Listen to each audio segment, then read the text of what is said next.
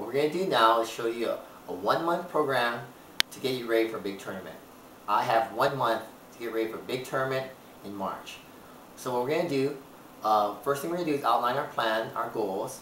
Our first goal is we're going to try to lose 2 kilos or approximately 5 pounds for a tournament. This week we'll work on fitness and conditioning. Week 2, 3, and 4 we'll start working on playing. Our first thing we're going to do is planning out our fitness and conditioning.